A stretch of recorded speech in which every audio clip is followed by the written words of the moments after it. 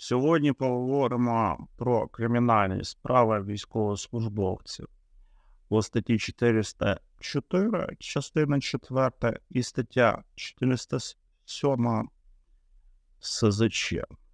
Чому так відбувається?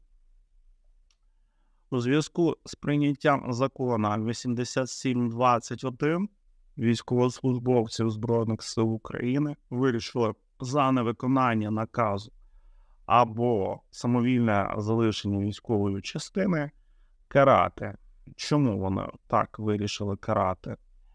Тому що вони пішли як Радянський Союз.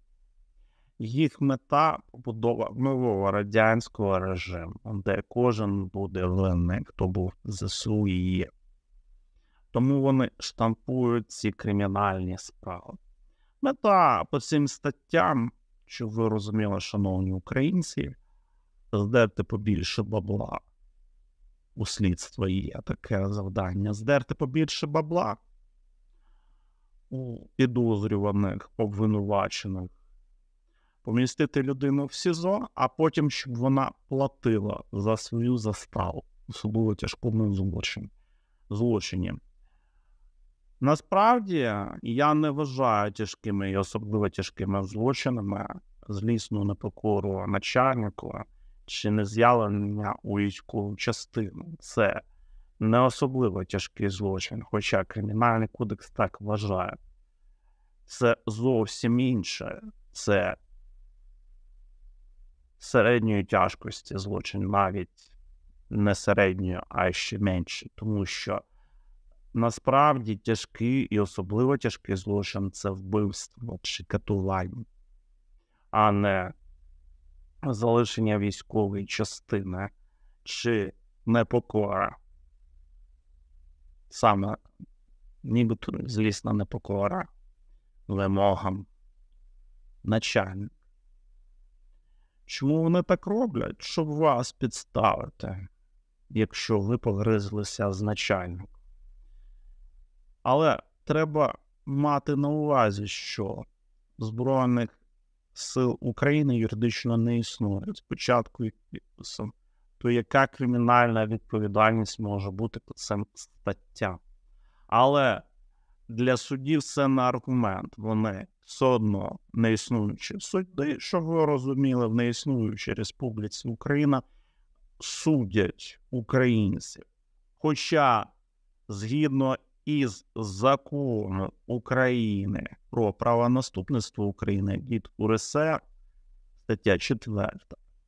Всі суди не конституційні і не є такими, тому що закон про правонаступництво України від УРСР не дійсний без печатки підпису. Там нема гербової печатки УРСР та підпису президента України Леоніда Кравчука. Тому такий закон не є дійсним, не, на який спирається існування цих недосудів.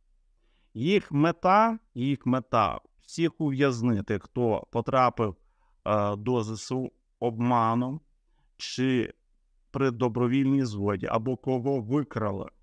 Хоча, щоб ви знали, військовослужбовці, що вас навіть нема в списках військової частини. А може і є, потрібно перевіряти це. Саме перевіряти і завжди вимагати від начальника військової частини показати документи стосовно створення цієї військової частини розпорядчим актом, де цей розпорядчий акт, а його нема. Я наполягаю, що його нема. Де його нема? В єдиному реєстрі фізичних осіб підприємств і організацій за кодом ЄРДПУ.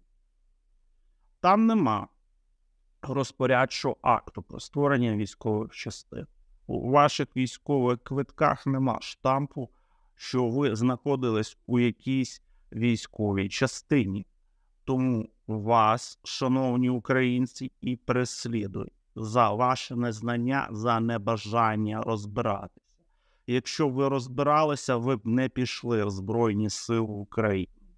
Якщо б ви знали свої права і свободи людини і громадянина.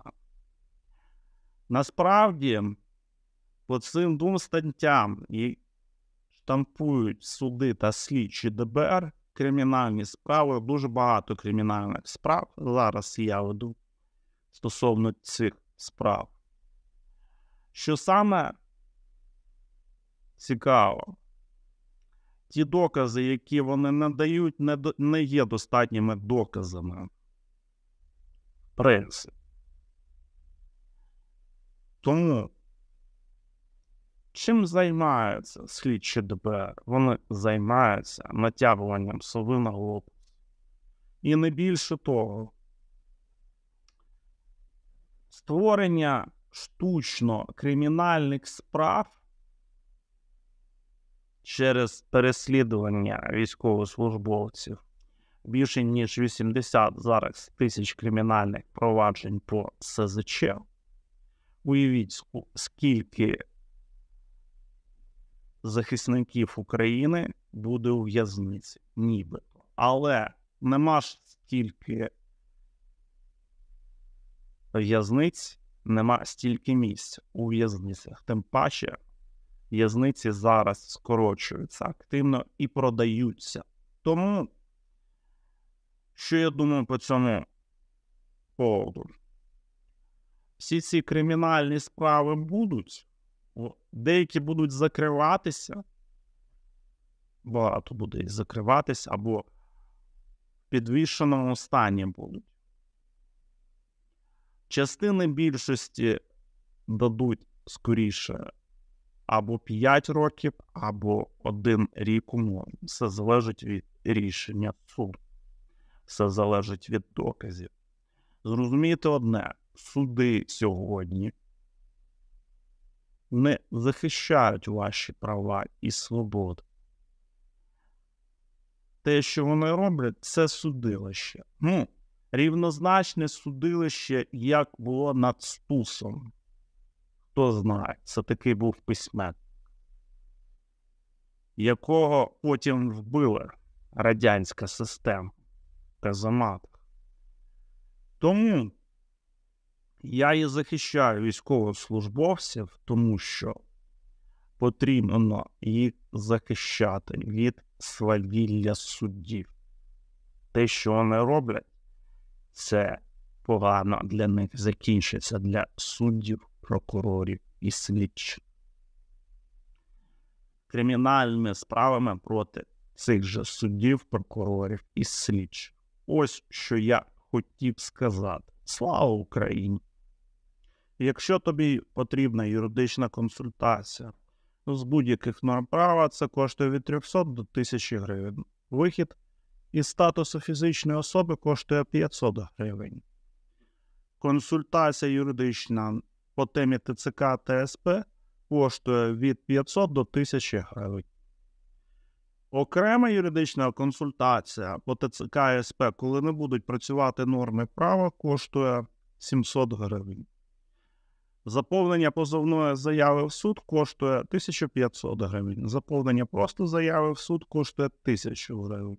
Юридична консультація з кримінального права і процесу коштує від 100 до 300 доларів США стосовно складності вашого питання по кримінальному процесу і кримінальному праву або кримінальної справи стосовно вас особисто. Також підпишись обов'язково на цей YouTube, TikTok канал. Разом доб'ємо до 10 тисяч підписників. Також становись обов'язково спонсором цього YouTube, TikTok, Instagram каналу. Жми на кнопку спонсорство в описі до цього відео. Обов'язково. Не забувай ставити лайки, репости, коменти, плюсики, а також писати, які ти хочеш бачити теми в наступних відео. Ми обов'язково розглянемо разом з вами ці теми до наступних відео. Також я консультую стосовно як вести бізнес і водити автомобіль в статусі людини. Це коштує 1000 гривень. Також ви можете в мене замовити витяг за кодом ЄРДПО стосовно ваших контрагентів або будь-яких юридичних осіб, державних установ, недержавних установ.